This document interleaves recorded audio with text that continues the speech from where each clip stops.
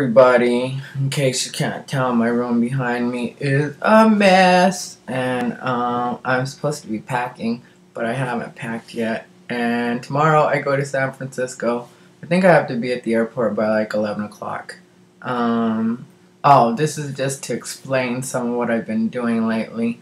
Um, I'm editing together like clips of because I've been here in LA for like seven years now and I'm editing clips of like you know my time here and the different things that I've done since I've been here.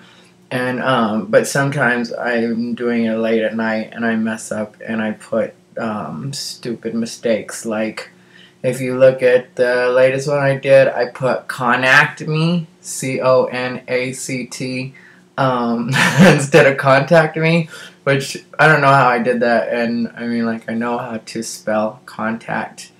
Um, but every once in a while you'll notice that I mess up like that and it happens. And so I hope you guys aren't too hard on me and I hope you guys like some of the stuff and if you like some of the stuff I do, please tell your friends about it so that they can check it out or share it on your Facebook pages or whatever you can do to help me get stuff out there. I'm just trying to really um, make the most of like what I'm doing right now and everything that I've done and the amount of footage.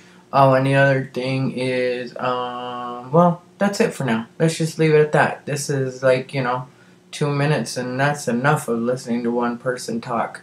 Um, unless they're on stage with the microphone. And then um, July 7th.